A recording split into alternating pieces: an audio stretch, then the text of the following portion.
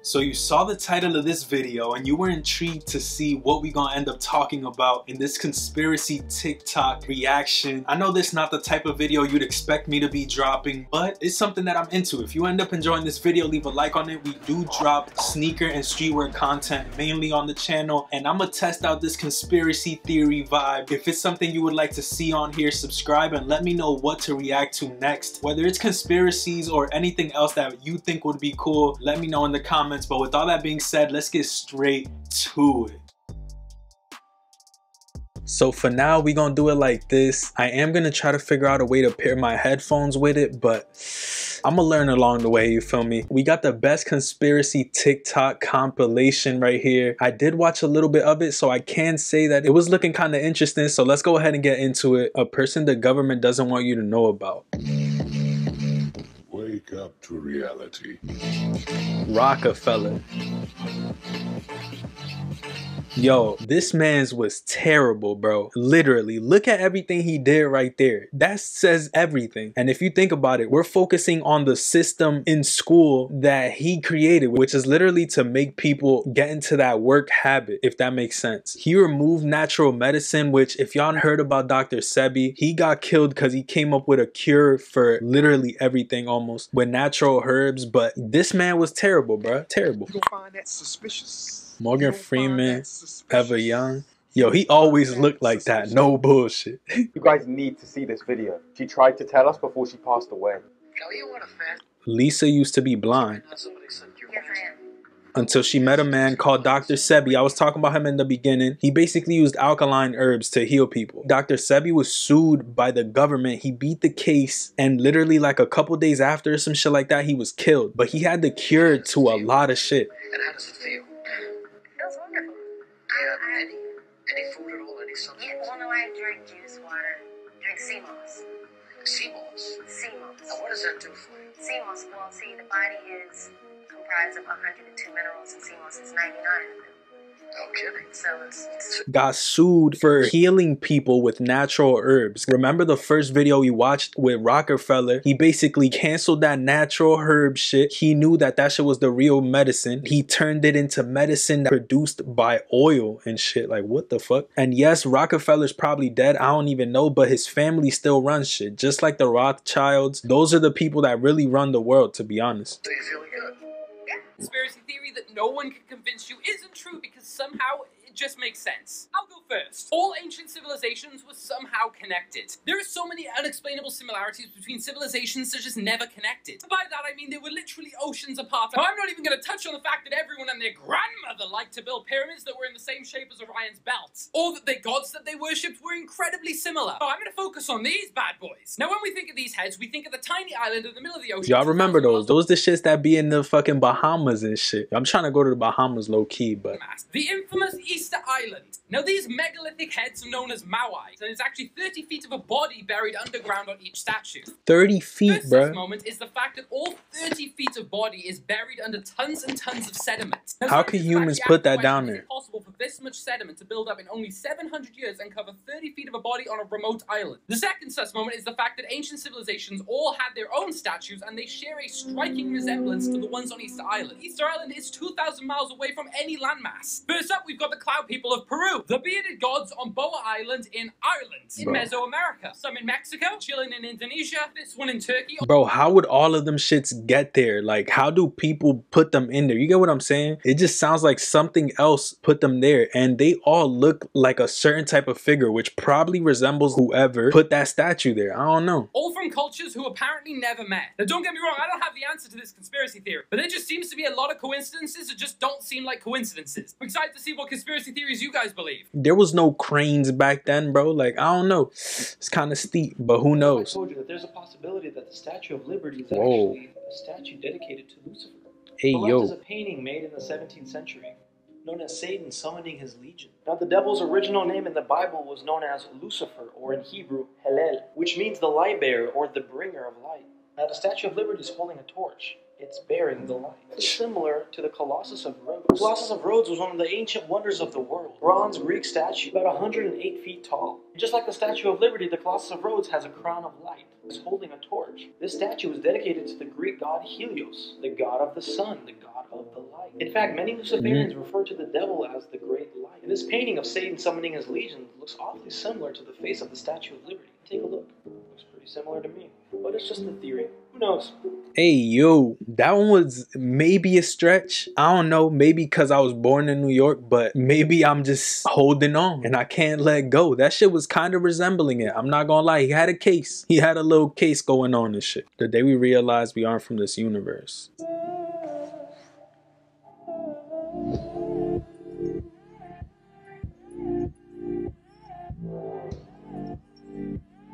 What? what? What the fuck did I just watch? What does this even mean? The top five scariest conspiracy theories. At number five, we have the Dyatlov Pass incident. In Russia during 1959, nine healthy people died from a ski truck with no explainable details. Investigators revealed the tent ripped from the inside out, and strange wounds were found on the victims' bodies. Some of the bodies were found to be highly radioactive. Coming in at number four, we have MK Ultra. In the 1950s, the CIA began to Yo, conduct know. secret research to mind control. I've actually heard about this before. MK Ultra is when they control people. They're saying that some artists are being controlled by MK Ultra, like Young Boy Gooch, a couple people to be honest. Cardi, who was glitching out here, you feel me? They wanted to see how the use of certain substances such as LSD and other extreme psychological experiences affected the human brain. They performed it on these subjects without their consent. And number three, we have the Men in Black. This theory revolves around the fact that Men in Black are said to turn up after every UFO sighting and have done so since the 50s. And number two, we have Imagine they just come to your shit, beep, your whole shit gone. You don't even know what the fuck just happened. the Roswell incident. In 1947, the military retracted a statement saying they captured a flying saucer, and instead it was a crash weather balloon. of course, bro. That's cap. At number one, we have the Philadelphia experiment. During World War II, it's believed scientists were working for the U.S. Navy to make a ship that could be invisible. They say that ship, the USS Eldridge, docked in Philadelphia during 19. You lost me at the end. I think it was an invisible you know boat. about the door theory?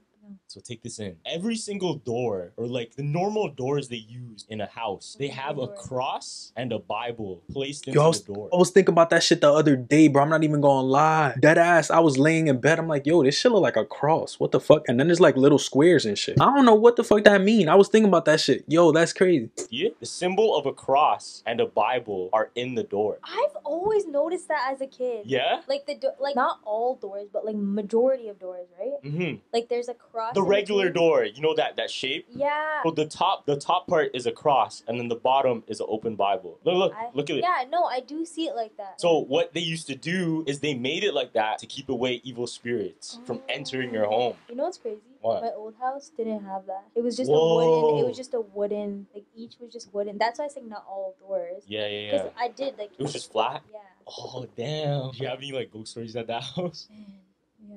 You do? Yeah. Oh shit. Hey yo, I ain't know the bottom was a Bible, but I knew the top looked like a cross for sure. Government conspiracy. Yo, pause, pause, pause, pause, pause. If y'all enjoying this video so far, leave a like on it down below for more conspiracy theory TikToks. Come on, bro, just show some love, dead ass. Let me know what else you would like me to react to in the comments. Still got more sneaker content coming. Don't don't forget. Warning, some of these will make you doubt your government. The first theory that was proven to be true is that the CIA created a heart attack gun. Theory states that the CIA built a secret weapon in the 60s and 70s that could cause a fatal heart attack. The weapon shot a small dart that left nothing behind except for a small red dot on the skin. So think about it though. If they have this shit, they could literally beep shoot somebody with that shit and they're done, bro. And then all they have to say is some shit happened. You feel what I'm saying? Target Hey yo. only feel a small prick, kind of like a bug bite, but would be poison. Poison would also not be detected in an autopsy.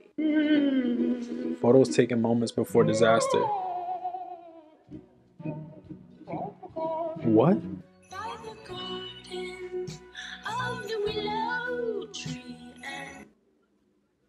Treasure Valley communities. The El Paso, Las Cruces communities. Eastern Iowa communities. Mid Michigan communities. We are extremely proud of the quality, balanced journalism that CBS 4 News produces. But we are concerned about trouble and trying to be responsible. One Hey, what? They're all literally reading the same shit. Who the fuck is telling them what to say? I want to know who the fuck that person is, to be honest. Country, plaguing our country. The sharing of biased and false news has become all too common on social media. More alarming, some media outlets publish the same fake stories without checking facts first. The sharing of biased and False news has become all too common on social media. More alarming, some media outlets publish without checking facts first.